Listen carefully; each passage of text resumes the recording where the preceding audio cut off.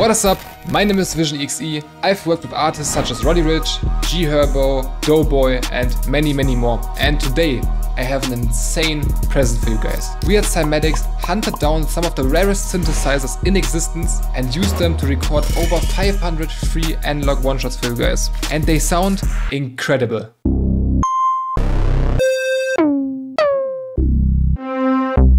As you can see, we recorded them completely dry, just so you can process them the way you like. And for those who don't like the sound of dry one-shots, I'll show you guys my top 3 favorite effects chains that I use on a daily basis to spice up any one-shot at the end of the video. So let's actually get cooking. So for our first sound, we start with this. Is the Juno 60 keys from the Fantasy. By the way, you can find all the one-shots down in the description, but this is the first one.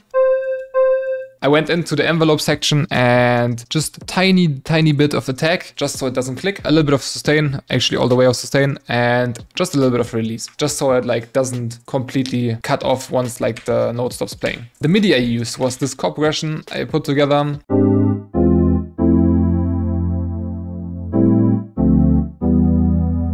Pretty simple, pretty repetitive. I really like it. For the effects on this one, we used the Cymatics memory with the occasional glitch preset and we used the double preset right here. It gives it like this chorusy feel and the glitch in here kind of gives it a little more an authentic feel. You know, it sounds more like it's straight from the synthesizer.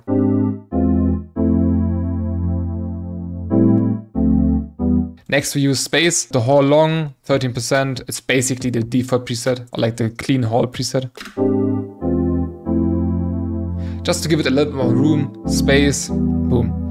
And lastly, Goodhertz Mid-Side Matrix, one of my favorite plugins, just to like move the signal a little bit into the sides and take it a little bit out of the mids, because I wanted to add like some leads and stuff in here. Next, we have the bass right here. It sounds like this.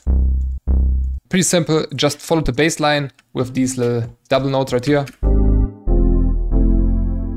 Also, there are no effects on this one, so it sounds like this, straight out of the pack. And now for the main part, which are these melodies right here. What I actually did, I recorded this video before and I played in like a 70 bar long MIDI using this good old thing. Problem is the video got corrupted, so I couldn't show you guys this. But what I just basically did is cloned this a couple of times and then just played in a melody. Picked the best parts together and put them all into one one shot right here into this one. And this is what like the MIDI at the end looked like after I puzzled it together. Then I said, okay, let's use like multiple one shots. That's why I picked three one shots. Take this part for one one shot, uh, like this part for one one shot, and then this is going to be a second one shot, and then this is going to be the third one. And this is how we ended up now. This is the first one, which plays these like little ups. This is the Juno 60 lead.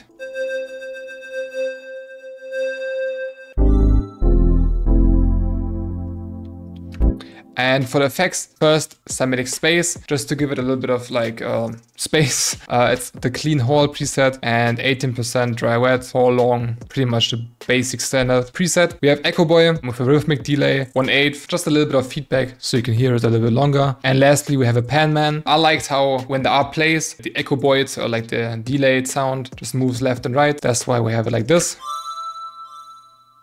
It's just the PanMan with the 2 bar white slow MIDI. Next we have the Prophet 5 lead Magic Low.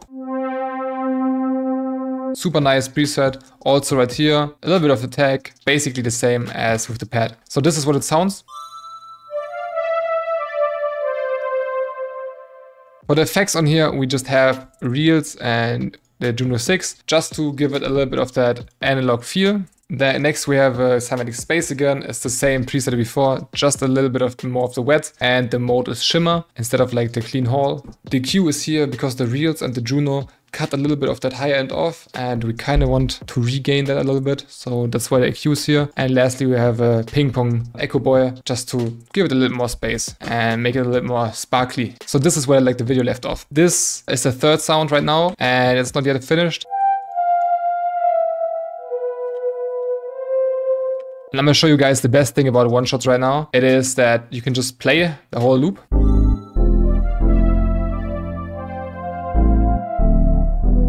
It sounds cool, but you can just switch presets within milliseconds basically. So now I can just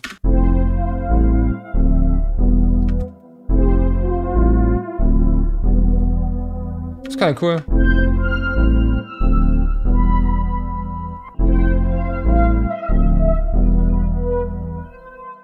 I kind of like that actually, that kind of texture. It's cool texture. Another cool thing that not a lot of people know is that you can use slide notes using one-shots. So as an example, we have this C right here, and then I can use a slide note and like make it slide up.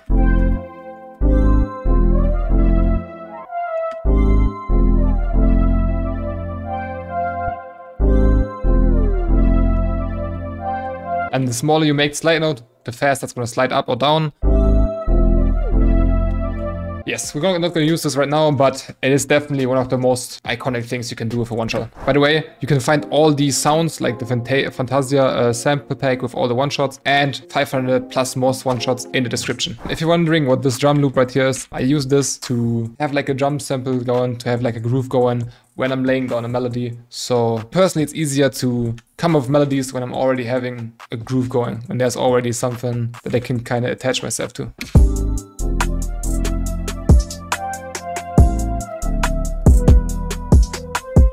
See if we can like add like one more sound in here. Something like very accented. accented.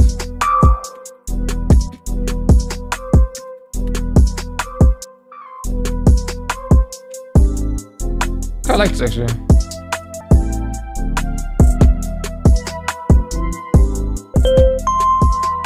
Maybe we can actually layer this.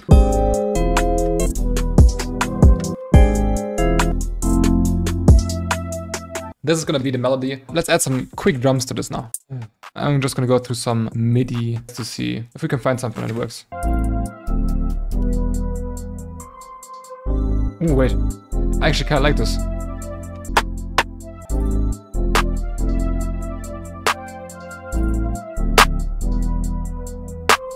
I'm gonna pick another head and just do a two-step maybe.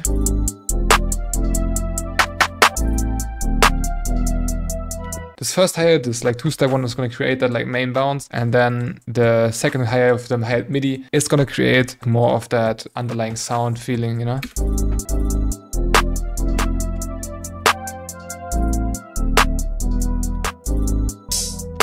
Okay, first hi-hat.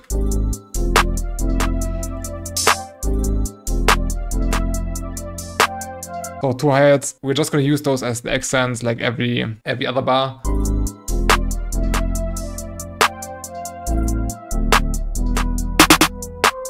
Using the snare as an accent to get like a couple more sounds in there, but it doesn't really do that much. It's just there for like to fill it up a little bit, add a little bit more of bounce, and then that's pretty good.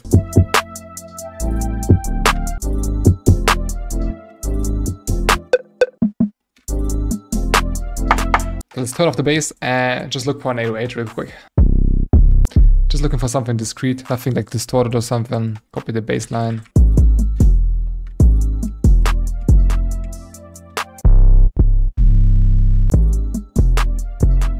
Perfect. We also want to keep this very, very minimal. I say that while I'm gonna turn this into like a roll. Alt U creates a chopper and then you can just go in. Wait, so actually gonna take this out right there. Just to have like a little bit of variation. Just add a kick, Alt and K. I just stole the MIDI notes of the 808 and put them also C. If there's an 808 and you have a kick under them and it does quite doesn't sound right, you can try this reverse polarity option right here. This basically flips the waveform of either the kick or the 808 and so the way it changes the waveform or swaps the waveform and sometimes that can help. You know what? Actually, we don't need a kick. I feel like this beat already pretty good like this. Right now I'm gonna do some slide leveling and then we can do some arrangement and the beat is basically done.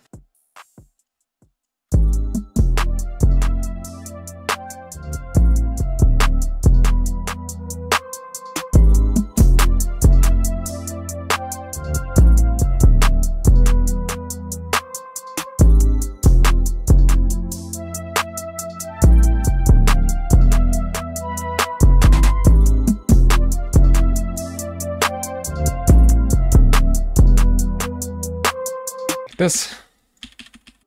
Cut like this one part out, duplicate it four times. Now we can cut stuff out. Let's cut this out. We're gonna cut out the leads for now. So let it run like this for a while. Now that I heard this, I kind of want to go in here and add a slide note.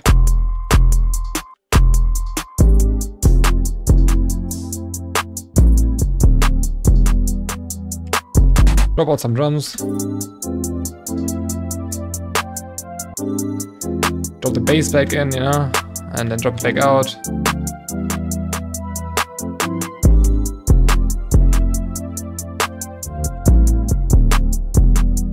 That is like the arrangement of our beat. I put it back to here. It's like 150. It's exactly in the kind of lane of these kinds of beats. Pretty simple, four bars hook, four bars hook, and then verse verse section, like a little switch up for the outro. Pretty simple. As you can see, these one shots sound insane. And it doesn't matter what kind of style you're going for, because like I said, these come dry. So you can actually experiment with processing them in different ways. Uh, you can make like rage stuff, like trap, it doesn't really matter. I'm gonna show you guys my top three effects chains right now. You can try them out. They're for different kind of vibes and stuff, so maybe you can find something that's cool. So the first one is one I use a lot when I make R&B, and it kind of turns your sounds or gives your sounds like this kind of watery effect. This happens because as you can see, there's a lot of pitch wheels on here. What I basically do is have a sound, uh, play without, without like the effects with effects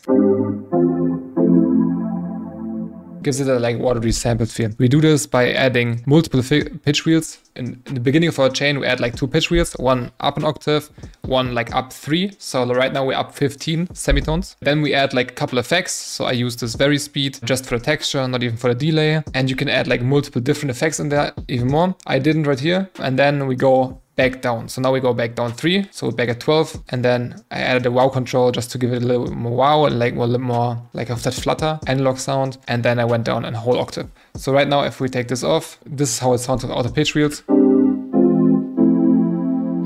And this is what it sounds like with the pitch wheels and they're basically canceling each other out. Basically sounds go through the pitch wheel, get affected differently because they're pitched up by the effects that, that are between the pitch wheels and then we pitch it back down to our original pitch. But yeah, this is the first one great for that moody R&B. So next we have, the sound is more like a basic effects chain. This gives like your one shot a little bit more space and makes them sound a little more organic, like they're straight out of a synth and not one shots. Um, this is a Reels with the FR setting and the 187 tape speed. Wow, and com nearly completely down. Ha like harshness to like 7%, sound noises completely down. Next we have a chorus. If I had to make this effects chain new, completely from scratch, I would use the memory from Cymatics just because it's free and you get like the probably better sound out there as well.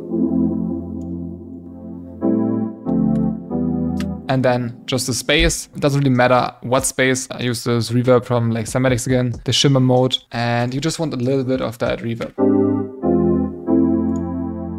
And at the end, I just added some highs. So that's like not really necessary, but you can.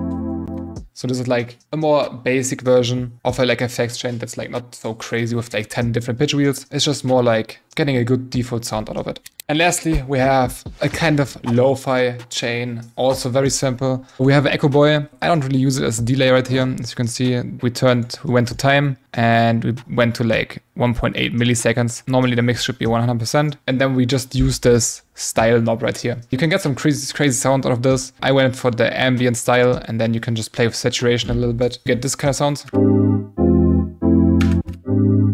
So you get a good amount of texture. After that we added the reels, just a little bit of noise, motor, again this FR tape, 187, a good amount of flutter and a good amount of harshness. And we also turned it mono and we just added like an EQ after that. So loses like a little bit of the lows and a little bit of the highs.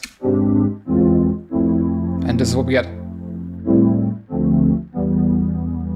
So these are my top three effects chains to turn any one shot into an amazing sound. So if you want to try out Fantasy and get the 500 plus one shots for free, just check the link in the description. It's gonna be all in there. I hope you could take something away from this and that's it from me. See you in the next one.